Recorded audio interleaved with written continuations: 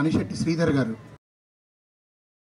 రెండు వేల ఇరవై రెండులో నా కథ విషవలయం అనే కథకి ప్రత్యేక బహుమతి వచ్చింది. అప్పుడు సభ ఇక్కడే జరిగింది ఉల్కనూరులోనే. తర్వాత రెండు వేల ఇరవై నాలుగు సంవత్సరానికి ఆర్తి అనే కథ రూపాయల బహుమతి వచ్చింది. ఈ కథ గురించి చెప్పాలంటే ఇందాక విష్ణువర్ధన్ రాజు గారు అండి విష్ణువర్ధన్ రాజు గారు చెప్పినట్టుగా పల్లెటూరు ఒక పల్లెటూరు పల్లెటూరులో ఉన్నవాళ్ళు ఉద్యోగరీత్యా పట్టణాలకి విదేశాలకి వెళ్ళిపోయి తిరిగి రాకపోవడం. వాళ్ళు తరచుగా రాకపోవడం కనీసం సంవత్సరానికి ఒకసారి రాకపోవడం దాన్ని వేరే నేపథ్యంతో ముడిపెట్టి నేను రాశాను. అది ఆర్తి అంటే వేదన అని అర్థం.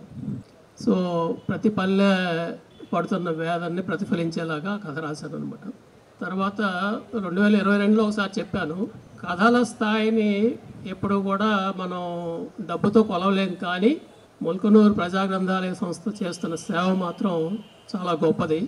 ఇంత పెద్ద మొత్తాల్లో బహుమతులు ఇవ్వడం పైగా స్థాయికి తగ్గ కథలు రాలేదని బహుమతులు తగ్గించడం కూడా కాకుండా అందరికీ బహుమతులు వాళ్ళు చెప్పిన ప్రకారం ఇస్తున్నారు.